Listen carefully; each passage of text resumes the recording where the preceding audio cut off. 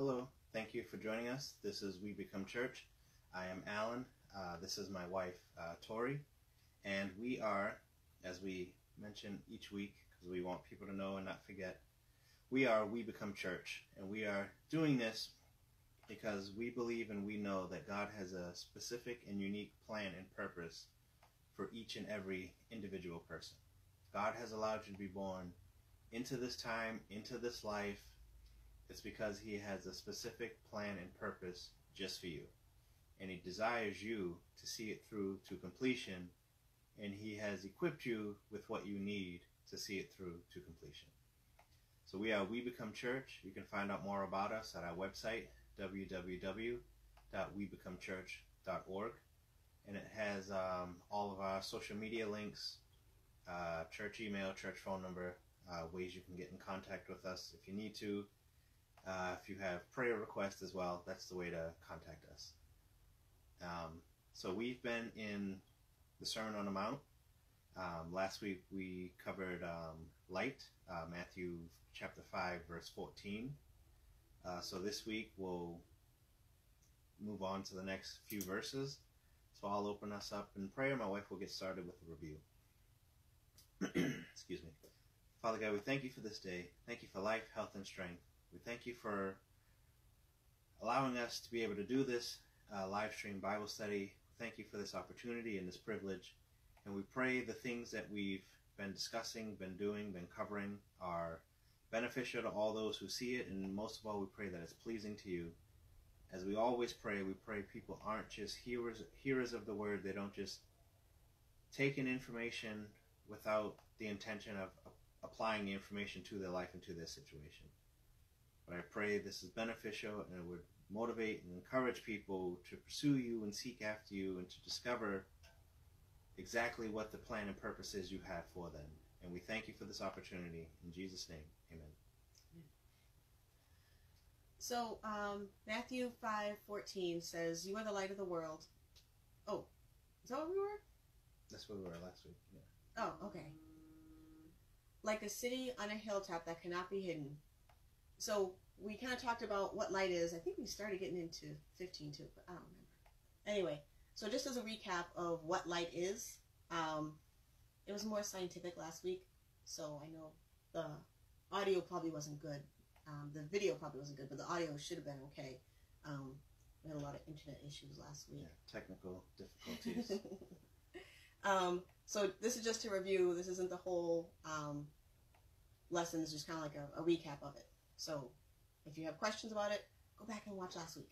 Um, or you can shoot us a text, whatever, um, email, we're here. So we talked about light um, and that light radiates outward from a source. So light isn't something that just happens. Light is like a secondary thing or like an effect of something that caused it. So if light, the same way that light radiates from a source, um, when Jesus is telling us that we are the light of the world, we're to be his radiation. Um, we talked about things that are radiant, and the definition that I kind of made up is an extension of an impact um, of the original, whatever that thing is, thing, stimulus, to a more distant location. So we talked about like um, like an oven or a stove or anything hot. You know, a fire is hot, but you can feel the heat when you're away from it. Um, the heat is radiating; it's coming from it. And so the same way you can feel the effects of the fire, even though you're not literally touching the flames, the same way that um, light's effect radiates. It comes out from the source and it brings the light's effect to other places where the light isn't directly at. Um, and so, us as light, we radiate from that source. That source is Christ. And so, we should show his impact. We should bring his presence into places that we are. Um, when we're in a room, in a situation, and whatever, within our lives, within the world that he put us in, that's why it says of the world, we're here to be his reflection, a radiation coming from him. Um, and with light, um, the farther you get away from it, the less the effects are. So we talked about like with headlights, you can see what's right in front of you, but you know if you're down a long or winding road, you can't tell if it curves or bends. That's why you put your high beams on or whatever it is that you do. But the further you are away from the light, the less um, effective that light is. And so the same way, we need to stay close to our source. We need to stay close to God um, continue to have His Word poured into us, continue to seek His face, to stay in close communication with Him, so that way we can be effective. So that way we are um, high beam. we have a good representation of His presence. Um, because the farther we get away from Him, the weaker our relationship is with Him, the less effective we are going to be as lights. Amen. Um, yeah, so that leads us into this week. Um, previous verses talking about salt, and we kind of covered what is salt, what salt does, benefits of salt, attributes of salt. Talked about light, um, attributes of light, and uh, 15 and 16 kind of you know talks about if salt loses its saltiness, what good is it? But verse 15, reading from the Amplified, starts. I mean, this is after 14 says, You are the light of Christ to the world. A city set on a hill cannot be hidden, nor does anyone light a lamp and put it under a basket. So uh, this goes along with salt. What good is salt if it loses its saltiness? What good is light if it's hidden? It might as well not even shine. Like if light is hidden well enough, you can't see it. So it's like it's not functioning in its intended role and purpose. So we don't want to. And one one of the thoughts I had, um, don't hide or or dim your light, and you know, that we allow the light of Christ to shine through us. There's nothing we can do to dim Christ, but if He's shining through us, you think of light shining through something, you can make it grimy and dirty. you think of like um, this time of year, uh, winter in New England, you know, like today, there's snow, sleet, rain, some places got hail. So your windshield gets a lot of grime, it gets wet, then salt and dirt and different things get thrown up onto it. It gets hard, if you didn't turn your wipers on, it'd be hard to see through it. But it can be the same thing with us. If we are to allow the light of Christ shine through us, there are things we can allow to stick to us, attach to us, kind of soil us, I guess. I don't know.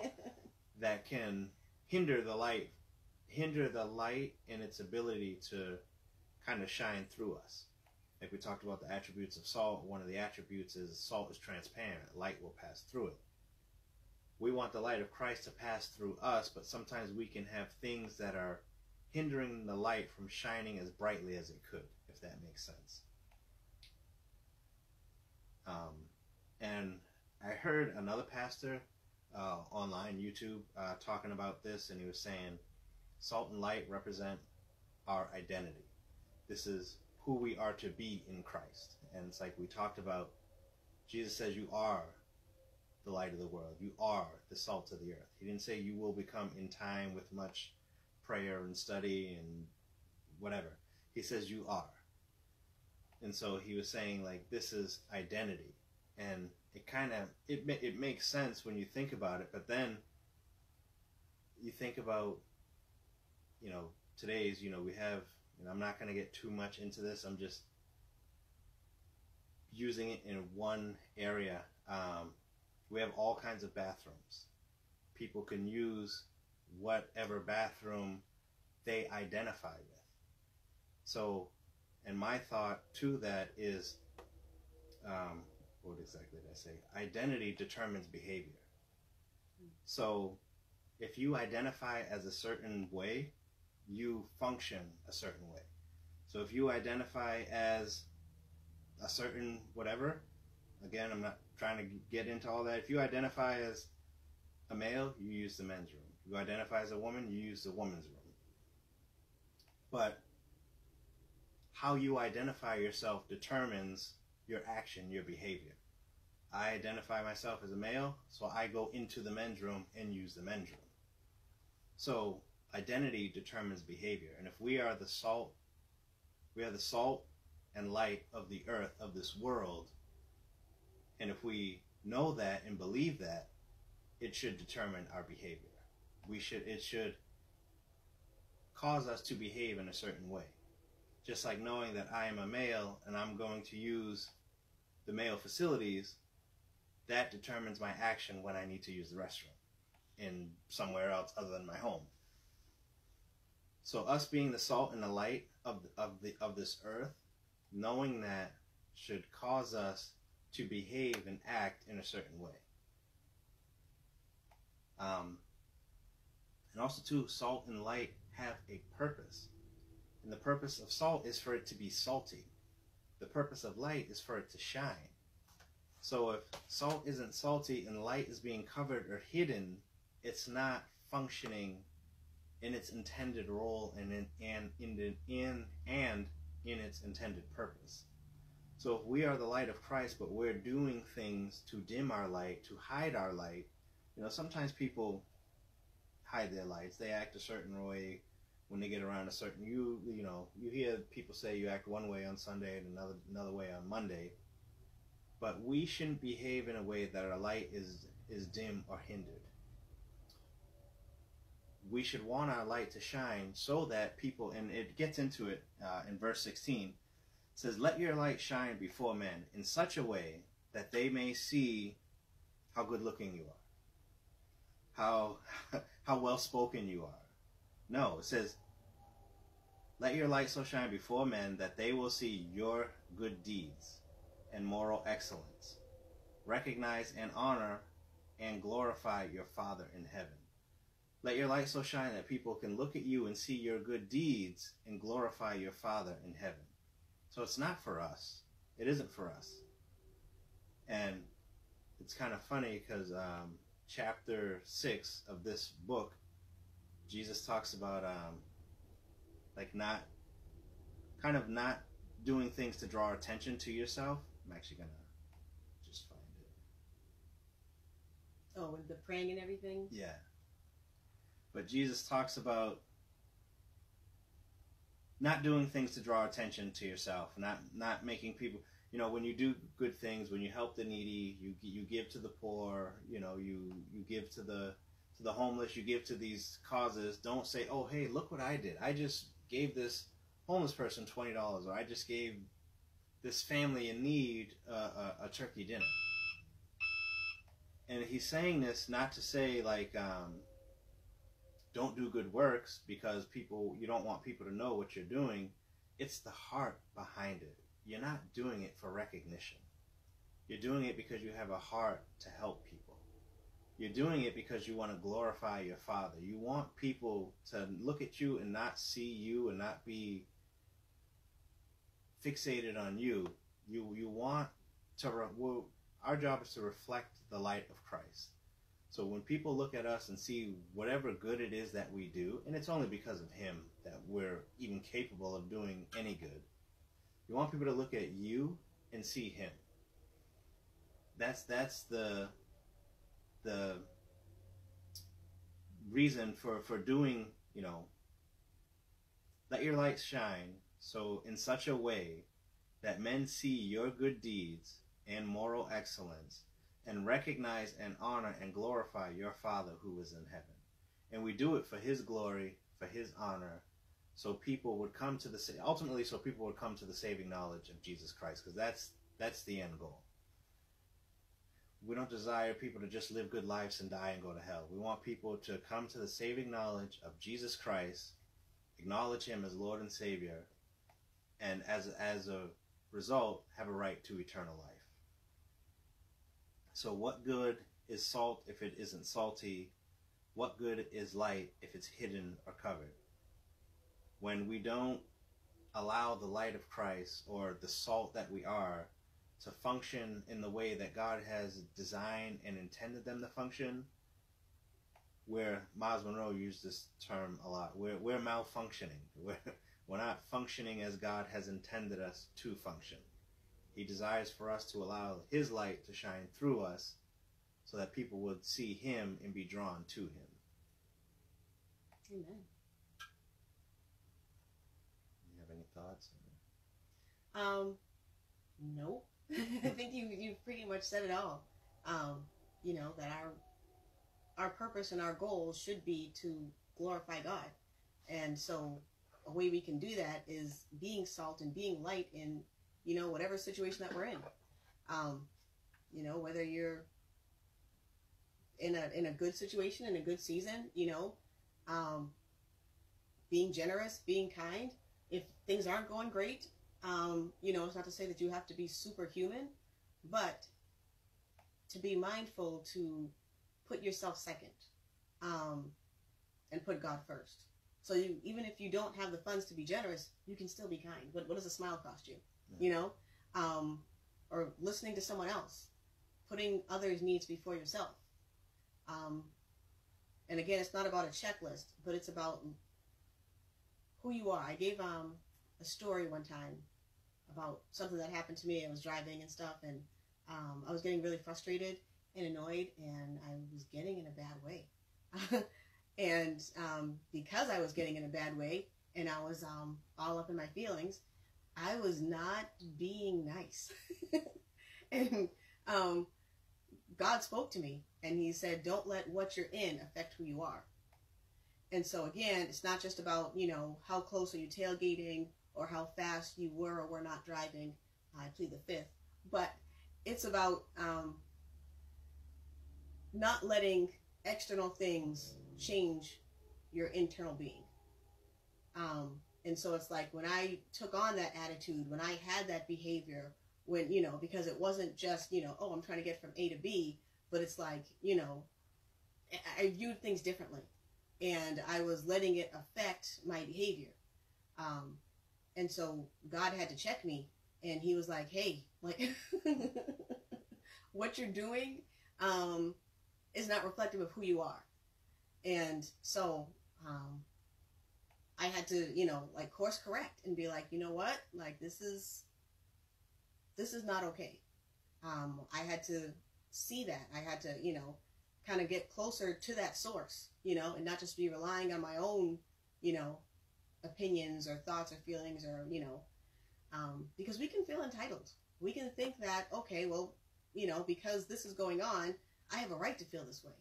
And you have a right to your feelings, but when you are salt, when you are light, you need to be salt, whether you're in gumbo, grits, or, you know, fish um, whatever you're in.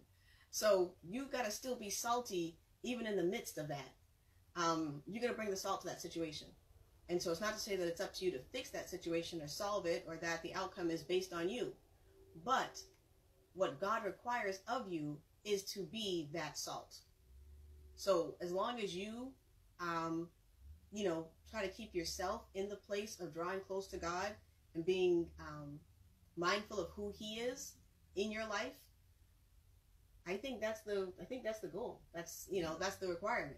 Um, to be light, to let your light so shine so that others can see your good work. So even if they're not treating you right, um, your right response in their maltreatment um, will show that the God is in your life. Um, like we talked before, that light reveals things. Um, we talked about being in like dark places. Uh, like if you ever been to a movie theater? Um, I'm not sure which theaters you go to, but I've been to some and they weren't they weren't they weren't that great. Um, but by the time you know the movie's over, you know you forget that you were sitting in this um, not great situation and the floor is sticky and the movie theaters have come a long way. Um, but whatever. So the situation didn't change, but you were just so caught up in the movie that you didn't realize that the floor was sticky and what just touched my leg and you know um, whose gum is this? But the situation didn't change, but after they turn the lights on, it reveals what's already there. And so, the same way with our interaction with people, sometimes our light reveals things. And it's not something that we necessarily cause, but if that's what's in their heart and our light is exposing it, sometimes they don't like it. Um, so it's not our job to vacuum the floor and clean the carpet and you know shampoo stuff. You just be light. What the effects of that light is, um, that's kind of not not our call. So you know, if they're feeling some type of way, that's something they need to work out with God. Um, but don't be a don't let your um, life be a hindrance to them seeing the light of Christ. Amen. Regardless of how they take it. Amen. That's good. Uh, I was thinking when you were talking, you were mentioning uh, how God said to you, "Don't let what you're in change who you are." Like today, and this is there have been times I haven't done this. You know, driving slower because it's icy, it's slippery, my car has what they call regenerative braking. Uh, you can Google it and figure out what it is. But when you let off the gas, the car automatically starts to brake because it's electric. It starts charging itself. It start it fishtails slightly when it's icy. Um, so there's cars behind me, and traffic. You know, it's it's it's traffic. It's it's snowing. It's icy. So you know, driving slow, take being careful. There's cars like a few different times. Cars like right on my bumper, and it's like you can't let you know what's going on behind you. Like like my wife mentioned, you can't let what you're in change who you are. You can't let what's going on change your change your speed, change your direction, change your course because someone behind you is impatient or because someone is being impatient. You can't let them change, you know, my end goal, which is to make it home to my family, you know. But there have been times where if someone has gotten on my bumper, I've locked them up. I've just foot to the floor, brakes. Yeah. or someone gets on you and you take off, you stomp it, you know. But you can't you can't let and though those are bad examples and thankfully, you know, we're here to um to, to live to tell about it, but yeah, it's, it's not a wise move. Um, Yeah. But God is good. he protects us in our mess. yeah, he does. But you can't allow what's going on around you to change you. And uh, you know, this the simple analogy of driving and someone gets on you, even though you're in the slow lane, there's no one in the lane next to you. They just want you to move. You can't change who you are and your end goal and your destination because someone behind you is impatient or because someone doesn't understand, you know, I want to make it home safely. That's why I'm driving the speed in the sleet and rain. Because someone doesn't understand, I can't allow it to change the fact that I'm going to drive in a manner that I feel is safe, that I'm comfortable, and I'm that I feel I'm going to make it home. So the same thing with being salt and light, as my as my wife already mentioned. We can't let things around us, situations, what's happened to us, you you name it. I mean, everyone's got a story. Everyone's got things that have happened at some point in their life, whether that by their doings or you're just an innocent bystander. You can't allow that to change the fact that you are you are salt, you are light, and salt and light have an intended purpose. Understand that God has an intended purpose for you. He's He's made you to be salt, and salt has a purpose this this world needs salt. The salt, you know, back then was used to preserve. This world needs some preserving. Like the the, the good moral things need to be preserved. Light is meant to shine and and bring light to dark areas. This world needs light. So God has called us to be salt and light. This world needs it. And it's because we have a purpose. Be salt, be light. Look around the world. Where where could where could there be more salt, more light? I mean, you think of the dark areas in your job, in your family, different places. Let your light shine. And people who don't want to be around the light, they'll move. And people who have a desire to change, they will. But just continue to be salt and light and read God's word and it will help you better know how to how to better be salt and light. The Holy Spirit will correct you, will convict you, will help you to know what areas you need to improve in, but let's stay in a place where we can hear his hear his voice and know the things we need to work on, we need to correct, we need to not say or, or whatever. He, you know, he's he's here to help us because like I mentioned every week, mentioned in the beginning today, God has an intended plan and purpose for you. He desires you to see it through to completion. He desires us to do it well. He's equipped us with the tools we need to make it through to the end. He's equipped you with everything you need. Now, some, you know, skills, some areas might you think of tools. Some things might need sharpening. Some things might need to be cleaned up. Some things might, you know what I mean? Just God has given you everything you need to accomplish the task He has set for you. Amen. So we're going to wrap up for this week. Thanks for joining us. Um, if this message blessed you, um, we're glad. And if you know of somebody in your life that this makes you think of or think that it could encourage them, feel free to share it. That's why we make it public. Um, but thanks for joining us and for talking with us about salt and light and just it's just a reminder to us um, through God's word of who we are, um, what our expectations are uh, from Him, what He expects of us, and how we can better live that out because no one's arrived yet. if so, we wouldn't be here. If we're still here, there's still something to be done. Um, and so thank God for His mercy, for His grace, and for another opportunity to get it right, to get it better. Um, and so I'm just going to close out in prayer, and we pray that you guys have a safe Christmas, um, a good New Year's. Uh, this will be our last. Yeah, this is it for the year. Yes. So. We'll be back. We'll uh, resume uh, January seventh at seven thirty p.m. Tuesday. yes. Um. So with that, Father God, thank you for this time. Thank you for watching over us and keeping us safe, bringing us to this point where we could do this, and thank you for bringing all of the listeners and viewers to the point where they could see this. Thank you for keeping us and protecting us, for watching over us. Um, thank you for sustaining us, that we're still alive to hear your word. Um, Father God, please touch our hearts. Help us to be a good reflection